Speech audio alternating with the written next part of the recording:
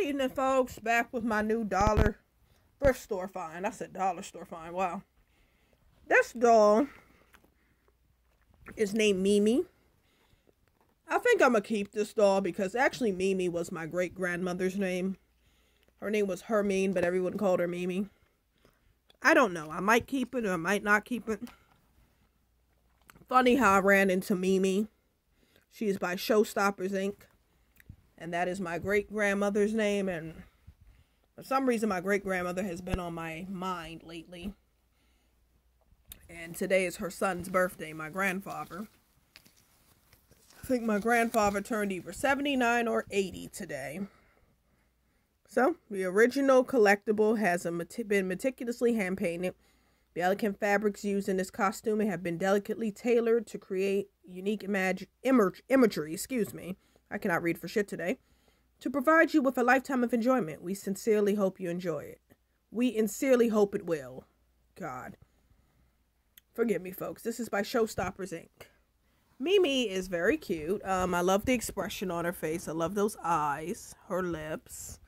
Um, she is a baby, of course, because look, her leg, um, her articulation isn't too bad. She isn't too stiff. She has petticoat, and what's so cute about her, um, she came with this little bonnet on her head.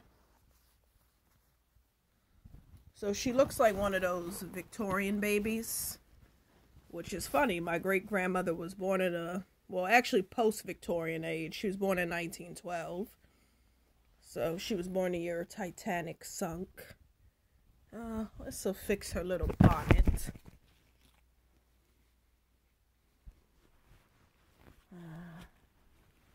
So yeah, this is what she would look like with her little bonnet on.